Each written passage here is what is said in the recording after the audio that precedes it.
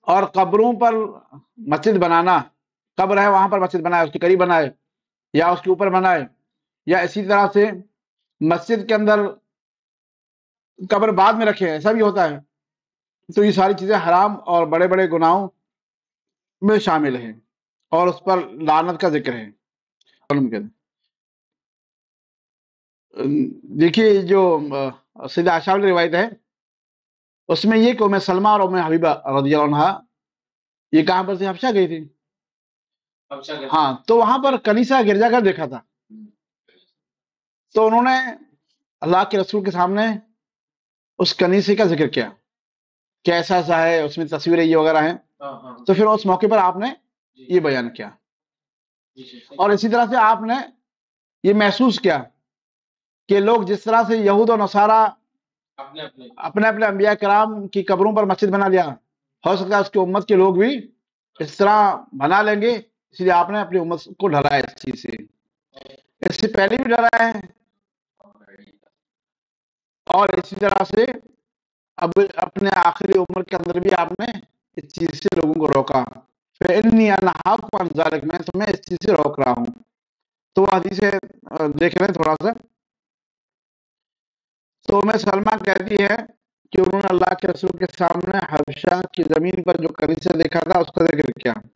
اس کا نام تھا ماریا ماریا۔ بغیر تصویر دونوں دونوں کا ذکر ہاں اور میں سلمان کا بھی ذکر ان دونوں ذکر کیا میرے دیکھیے دوسری بات ہے اللہ اناشد الم حبیبہ وہ میں سلمان زکر ادا کرنی دونوں تھی اور اس کے اندر جو تصویر وغیرہ تھی اس کا بیان کیا انہوں نے؟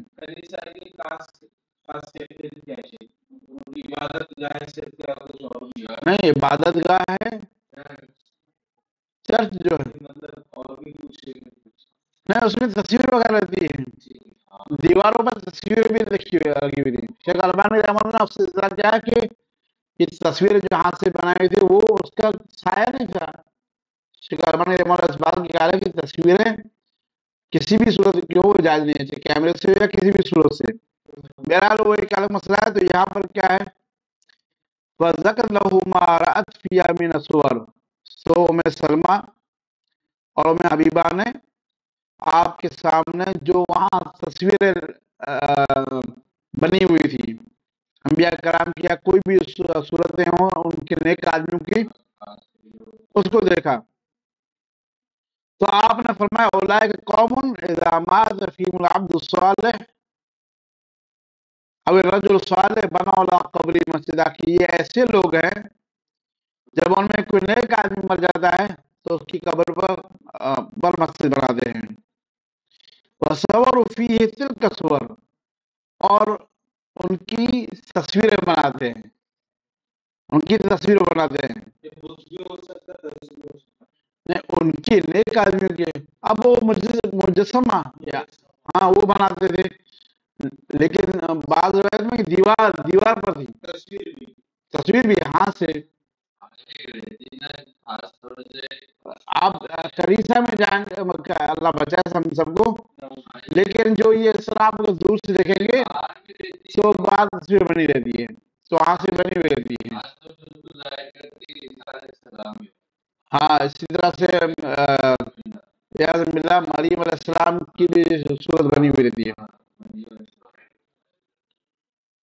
تو آپ نے فرمایا کہ اولائک کا شرار الخلق کے اللہ یوم القیامہ، یہ قیامت دن سب سے برے لوگ ہیں۔ تو جو شرک ان شرک الظلم العظیم شرک سب سے بڑا ظلم ہے۔